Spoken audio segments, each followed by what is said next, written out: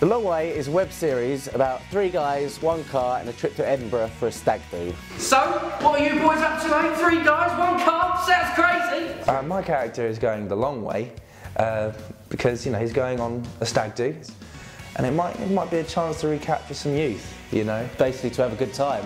Uh, he just wants to go and drink and womanise, basically.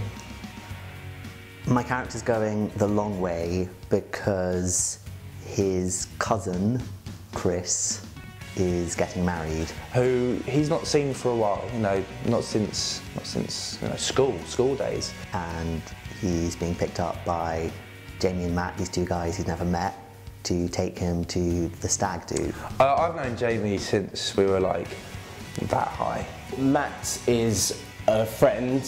Why, I couldn't tell you. And uh, Daniel is somebody we've just met, and I do not like him uh, because he's quite strange.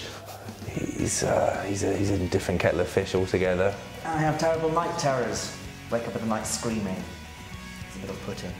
I think Daniel wants to like people and wants people to like him, but is also quite maybe set in his ways and doesn't quite know how to interact with people in a normal quote marks way. Look, maybe if we have time. What about the floating museum? It's a museum about boats on a boat.